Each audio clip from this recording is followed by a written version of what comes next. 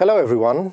Uh, I would like to uh, say a couple of words on citizenship identity nexus in Europe, which is the topic of our, of our first lecture in the unit two uh, of the MOOC. Um, and this uh, topic is a kind of basic topic because it introduces the main issues concerning citizenship and uh, identity.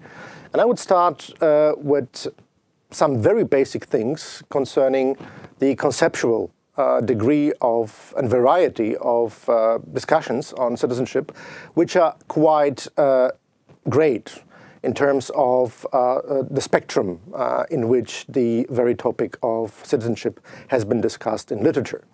So we have different approaches to what citizenship is. We have normative accounts of citizenship, and these accounts are mainly referring to some lost ideals of citizenship, oftentimes um, related to ancient Greek or Roman citizenship. And uh, scholars would bemoan that today's citizenship is not up to par with these older ideas. But it's a normative account, actually, right? And it's oftentimes question, questionable if we really want to turn uh, our eyes on these uh, ideal types. Now, the other um, possible approach to citizenship is to concentrate on historic functional approaches, which describe citizenship as um, um, an institution, a political institution that uh, has developed with uh, some functions. For instance, in the city-states of Renaissance or already in the Middle Ages, for instance, in Italy, citizens were arm-bearing uh, people that were uh, that had the right to uh, bear arms, and of course that had the obligation to defend their uh, city-states. And with this military aspect of citizenship, uh, there was this specific development of obligation and defending um, the city-states. Now, uh, what is citizenship uh, then, if we have so many conceptions of citizenship and many conceptions of their um, conceptual meaning?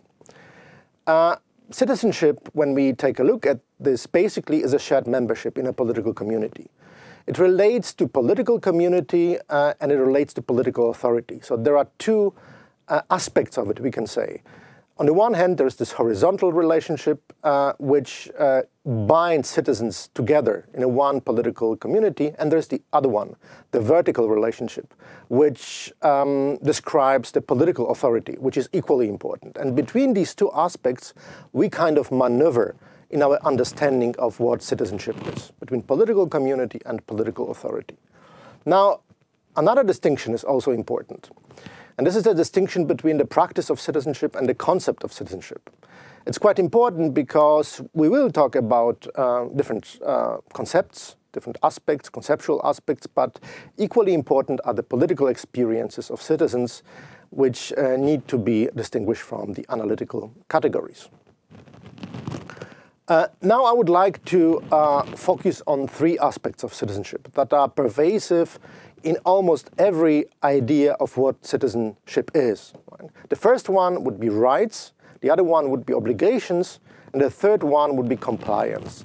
And compliance relates to the political authority aspect of citizenship because it binds citizens with the political authority via uh, this vertical relationship I was talking about previously. Now, uh, rights are an essential aspect of almost every conception of citizenship they're very important. And oftentimes they're historically derived, derived from the Roman concept of citizenship, in which citizenship was a legal status. So rights were regarded as entitlements or privileges because not everyone in a community, in a political community, was equipped with rights. So in the legal sense, rights are empower citizens on the one hand, and the rights needs to be judiciable, which means that you need independent and working courts to actually uh, allow their rights to be uh, claimed and to be enjoyed by the citizens. Based on this rights concept of citizenship, we have liberal citizenship. Right? I would like to introduce this term liberal citizenship. It is liberal not in the economic sense, but in the legal sense, that it's based on, uh, on rights, on, uh, on uh, privileges, and these rights and privileges protect the citizens from arbitrary political decisions they render the citizens free in this sense because their rights are protected through courts and in courts because citizens can invoke a law that grants them the rights. The further aspect of citizenship is obligations. It's equally important, and there are citizenship concepts that focus on that quite strongly. Right? If we take a look at the Aristotelian concept of citizenship, for instance, it's very obligation-based in the sense that citizens certainly enjoy certain rights, but to be citizen means even more to bear the burden of a political office, for instance. Right?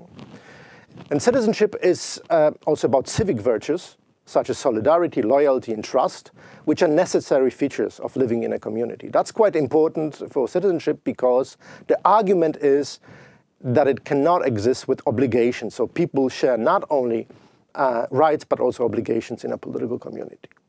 And this idea of uh, civic friendship, of a special bond among citizens is quite important and popular uh, among Republican thinkers. Uh, uh, and the idea of that goes back to Aristotle. So based on that, uh, I would argue we have this type of uh, citizenship that we might call Republican citizenship, which is based on civic participation. Right? And the civic participation is viewed as essential for the obligation aspect of citizenship because it focuses on the notion of public good. And of course, it obliges citizen to, citizens to participate and um, take uh, the responsibility for the community. Now, the third aspect that I've mentioned already by referring to the political authority uh, conception is compliance. In this aspect, in this perspective, citizens are defined not only as bearers or holders of rights or obligations, but also as subjects of political authority. And this is not something that occurs in um, authoritarian regimes, quite the opposite. It is also something that is typical for democratic citizenship because citizens also need to follow uh, political regulations. They are also subject to political rule. Of course, preferably subjects to political rule, rule that they can determine, uh, which would be a further characteristic of democratic citizenship. But this compliance aspect focuses on the survival uh, in a political community, oftentimes physical survival in view of antagonistic political conflicts, and uh, it's the guarantee that the political community can survive in crises uh, as faced with threats and risks of different kind, for instance, the threat of war. Based on that, I would suggest that we um, develop and um, devise um, the type of citizenship that might be called Caesarean citizenship. And the Caesarean citizenship, because again, it's focused on political authority, describes the relationship between the citizenship and the political authority. And for that reason, it's directly connected to compliance. So the idea of that is that citizens, Caesarean citizens, understand the necessity of obedience to political authority, uh, without which there would be no civilized existence and therefore also no citizenship. So what does it all mean for identity? I mentioned in the beginning of the lecture that uh, there is this citizenship identity nexus. Nexus means that we have this connection, that we have this um, link between citizenship and identity. And we uh, can show what type of identities or types of identities are um, connected to uh, these types of citizenship that I've mentioned beforehand.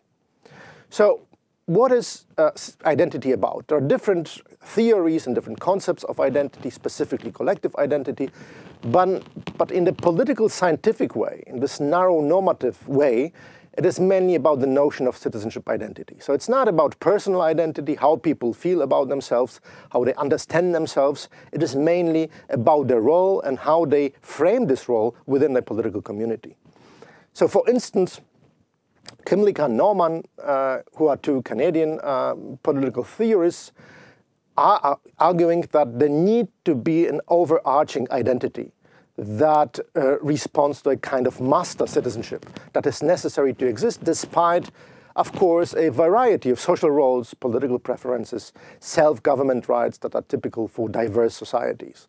And this overarching citizenship identity is uh, quite important, specifically for those uh, communities, but not only for those, because citizenship identity um, stabilizes them and make them actually survive. Right? And this is oftentimes put in context with uh, another concept, which is called deep diversity, a concept that was coined by Charles Taylor, another Canadian uh, political theorist who said that specifically this overarching identity needs somehow to uh, be able to integrate these different uh, cultural, uh, national, and ethnic structures in a diverse society. Now, I would suggest that we uh, develop uh, different uh, ideas about identity based on the models of citizenship that I've talked about. Right? So we have the liberal model, the Republican model, and the Caesarean model. And the idea behind that is that every model of citizenship is connected to some specific uh, type of identity. Uh, and we will reduce this to one aspect, right? More about this you can read in the literature that I um, um, gave you to read, and uh, but let because it's a very short lecture, we will concentrate on this one aspect, which is weak and strong identity. And weak and strong identity does not only mean uh, the actual strength of identity and the commitment of the people to the others, but it has to be political. So we, we are talking all the time about political identity, which is uh, probably different from sociological and psychological ideas that have been around for some time. So the liberal model of uh, citizenship, I would argue, is associated with a weak collective identity. Why? Because liberal citizens live in a society of individuals. So it's an individual society, which is also a political community to some extent, of course, but participation or obligations vis-a-vis -vis the others are not necessary. They're not, they are there, but they're not constitutive for being a citizen. We're still individuals. We decide based on our, on our individual preferences rather than um, shared uh, community preferences. And politics is merely one of a number of various areas in which citizens construct a broad spectrum of preferences, hence weak collective identity. And this collective identity is quite important because um, in a liberal model of citizenship, uh, you cannot expect strong uh, collective identity. And if you expect strong collective identity and even try to impose such, there will be problematic consequences. In liberal societies, strong um, collective identities will uh, backfire and will cause problems of different kind. Now, uh, in contrast, the Republican model of citizenship requires not only civic altruism, if you like, or civic friendship that I've mentioned, uh, with this Republican model of citizenship, but also basic civic commitment to public interest. So the idea of republicanism or Republican citizenship is that people uh, are not merely individuals. They stop being individuals uh, prior to important decisions uh, in the public sphere. So whenever there are elections, whenever there are political discussions in the public sphere, they need to transform somehow from individuals to citizens. And there is even more, if you like, in some versions of this Republican model, there is a cult of commonness. Right? Citizens come together in a public space, private matters are excluded, you cannot discuss private matters. If you talk about politics, you need to justify your preferences and your arguments with uh, reference to what a public space uh, can be, uh, how public space can be understood.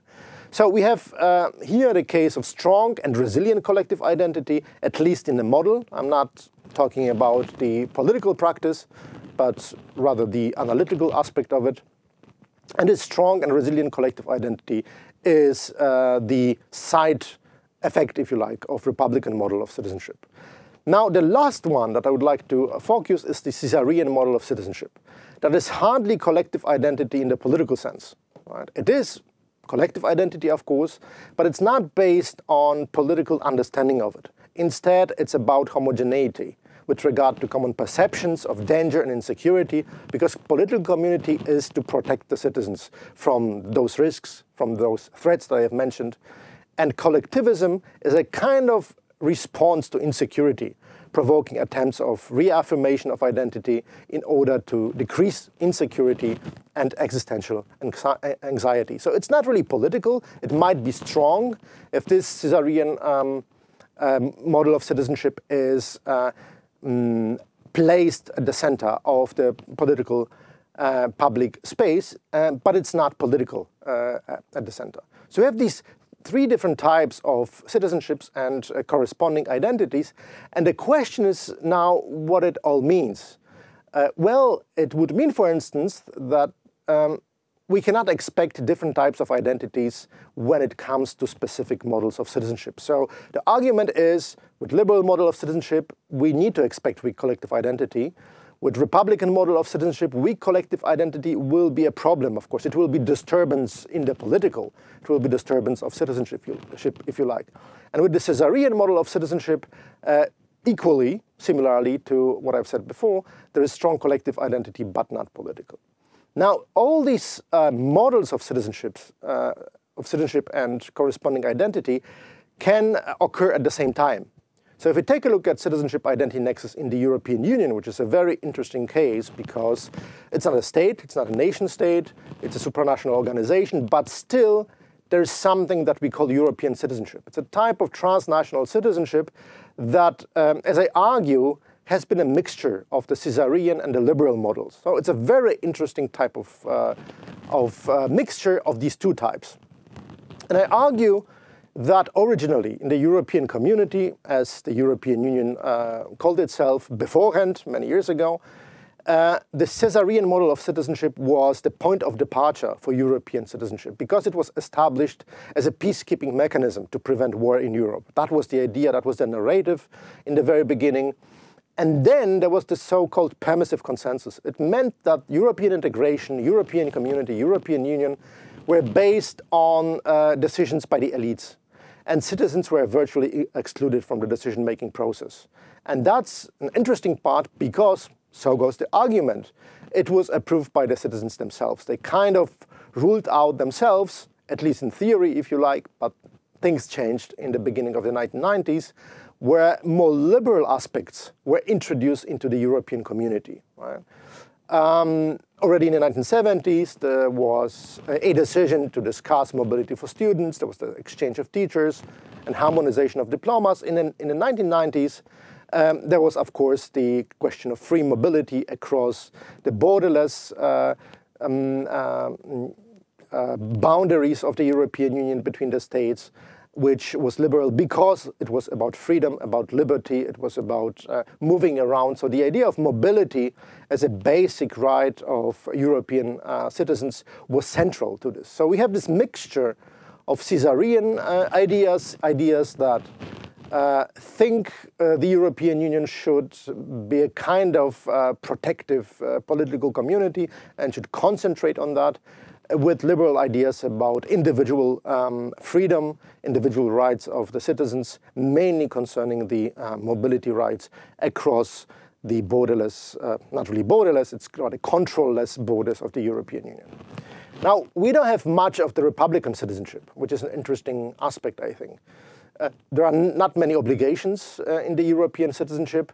There's not any traditional civic sense vis-à-vis -vis the European Union. We can see that with low turnout rates in uh, European elections, for instance. The EU does not require any substantive public engagement from European citizens, so it's still underdeveloped. So the consequence of that is that with Caesarean and liberal uh, citizenship models, we cannot really expect a very strong and very resilient identity because it doesn't fit, right? There is a mismatch, if you like, between these models of citizenship that have evolved in the European Union and our sometimes uh, uh, overambitious expectations of identity.